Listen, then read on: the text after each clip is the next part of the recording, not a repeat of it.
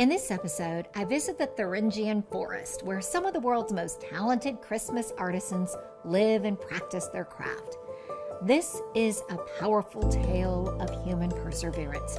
How these craftspeople struggle to create things of beauty in a country once divided, their businesses seized by the communist government, their livelihoods lost, eventually regained, and reimagined.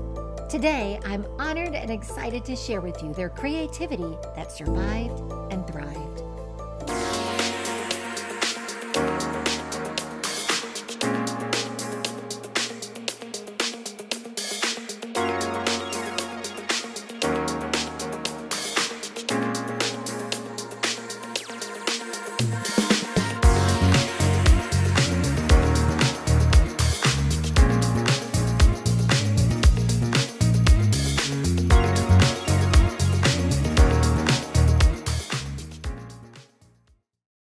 We travel to the villages of craftspeople nestled in the forest of the German state of Thuringia. For centuries, these artisans have been making Christmas decorations that delight and deliver joy around the world.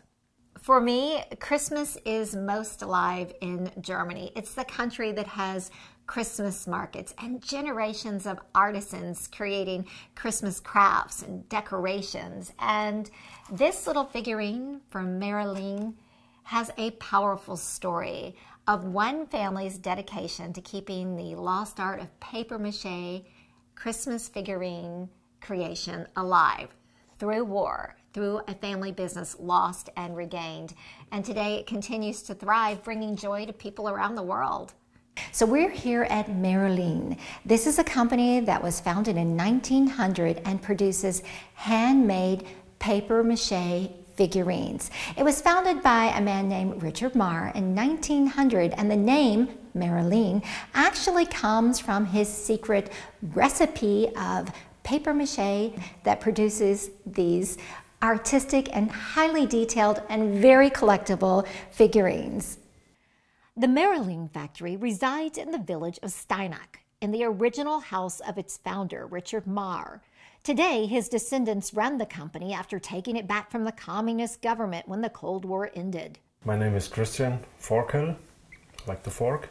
Um, and uh, the founder of the company was my great great grandfather. He founded the company back in 1900 and started with the production of uh, nativity figures. For that, uh, he developed a special material. It's a kind of mixture between an paper mache and a porcelain. Mm-hmm. And uh, the first molds he did on his on his on his own, and then uh, up to the 1920s, um, he developed three, four hundred different uh, styles and molds. Wow. And then uh, around 1920, another artist uh, joined the company. Uh-huh. The name was uh, Julius Weigelt. Uh-huh and then he made uh, the other molds that we use even today. Marolin craftspeople created early figurines in the Nazarene style, a rustic rendering. Now, when Julius Reichert joined Marolin, he introduced a more dynamic, detailed, lifelike style of figurine making that requires craftspeople to cast and shape the body separately, then attach by hand the individual arms and legs. So it's all these little surprising connections that I love to make when I travel. I was just in Erfurt, and turns out that they are restoring nativity figures from the church in Erfurt. Look at this. How old are these that you restored? Uh, so these figures are about at least 100 years old. 100 years old. And these were restored by your craftspeople and they will return to the churches in yeah. Erfurt. These are original Marolin figurines and uh, the molds are made by Richard Mahr back around 1910 and uh, the good thing is that we still have the molds for for instance for the limbs and uh, the, the smaller parts so if one of the arms is broken or lost we can attach a new one. Over the years, Marolin expanded to create not only nativity and religious figurines, but fairy tale characters, animals, and Easter bunnies. The company currently produces more than 2,000 items.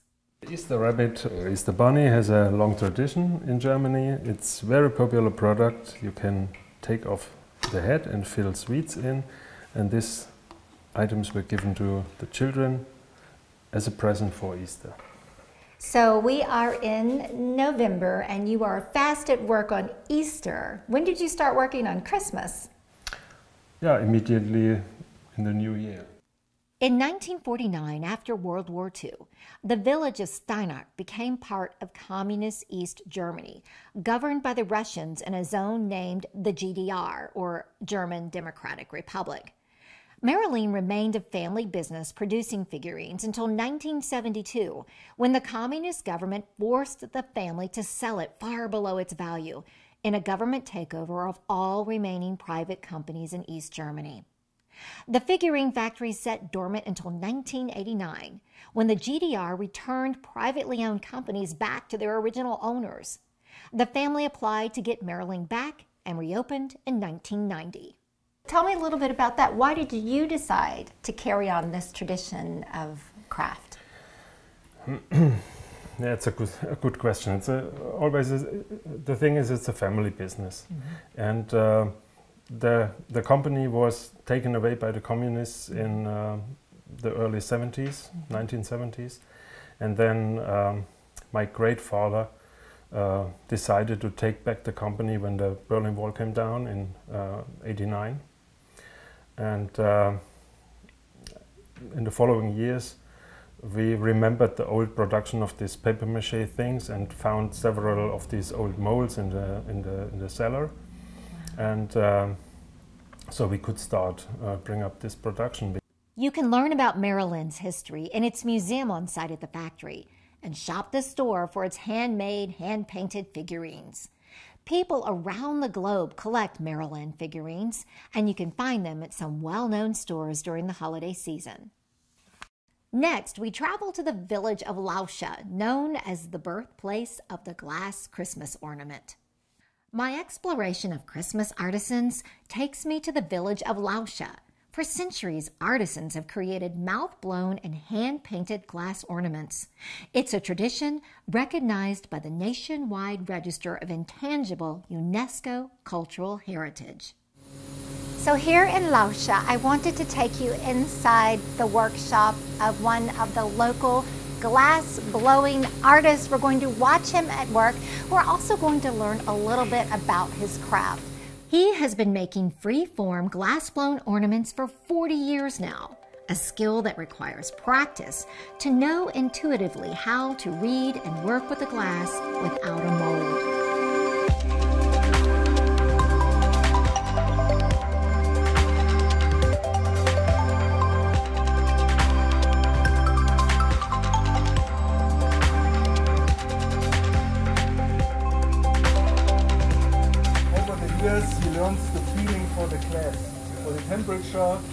the glass is moving, on which temperature, and so on. And this is, is a skill. Uh, His wife paints the glass blown Christmas ornaments. In the early 1800s, Lauscha's first glass workshops opened, taking advantage of the abundance of glass making materials, including wood and water from the Thuringian forest. Lauscha glass Christmas ornaments gained worldwide fame after making their way into Woolworth stores in the 1880s. Mr. F.W. Woolworth discovered Lauscha's glass ornaments during a visit to Germany, and he began importing them to sell in his chain of dime stores across the United States. Over the years, Lauscha attracted more glass makers, including free-form glass blowers who blow the glass by mouth, creating shapes without using a mold a skill preserved and passed down through generations here. After World War II, Thuringia became part of East Germany, and the state took over most of Lauscha's glass workshops until the 1990s when Germany was reunited and businesses returned to private owners.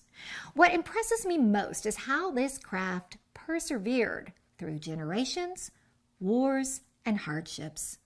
I meet up with a fourth generation glassblower at work, creating 200 ornaments in a single day.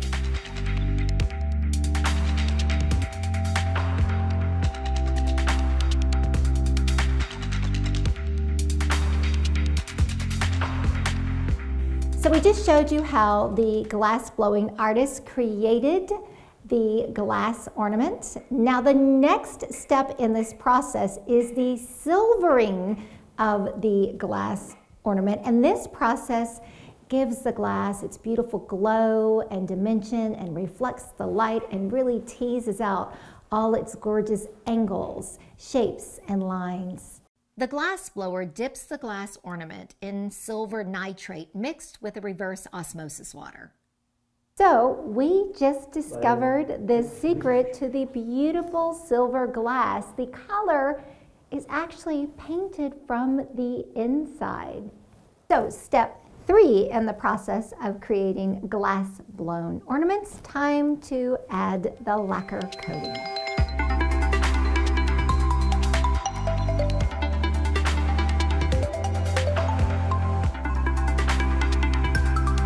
And so we've arrived at the fourth and final step of making a glass blown ornament. Behind me, you can see artists who are hand painting each one of these ornaments.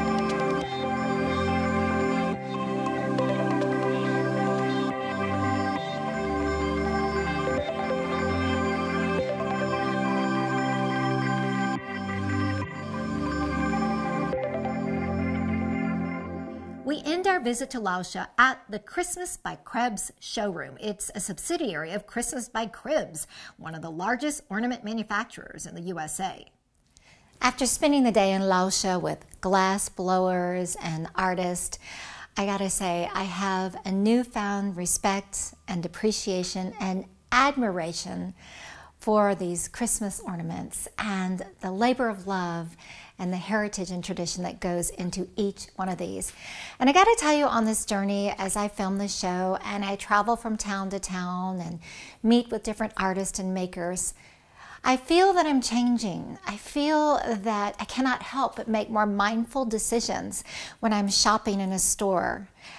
Searching for products made with heart and hand, with meaning instead of mass produced, that's going to be my guiding beacon as a consumer. And uh, I think more of us should get out and really experience makers, artisans, and all of their love, time, talent, and attention.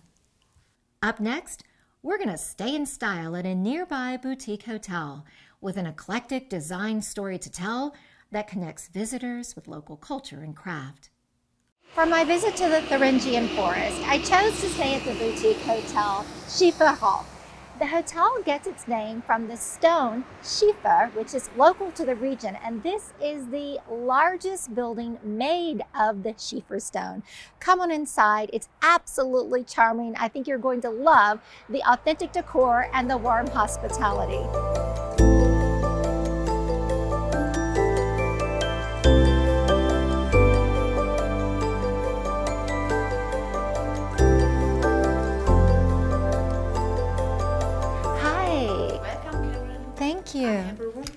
Perfect. Thank you so much. I hope you have a nice time. Oh, we're looking forward to our visit here in the Thuringian Forest. Karen. Hi. Welcome in our hotel. Nice. Welcome in the Christmas country.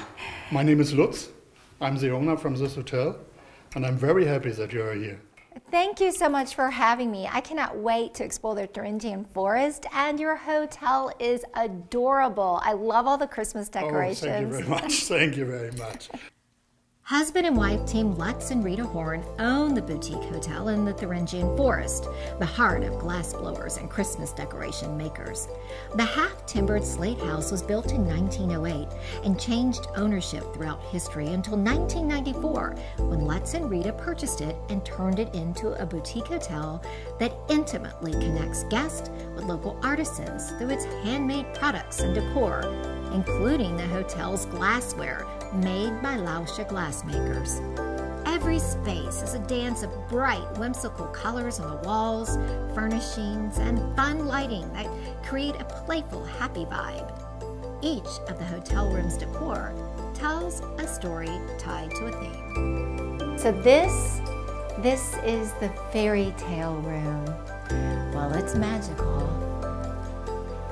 I say goodbye to the craftspeople and communities in the Thuringian forest, and I find myself wanting to hold on to the sensory experiences of my travels. The smells of the fresh forest, the smoky fires of the glass blowers, and the paper mache and paint of the Marolin figuring makers. Thuringia, once closed to Western tourists during its years as part of Communist East Germany, embraces everyone with a warm welcome.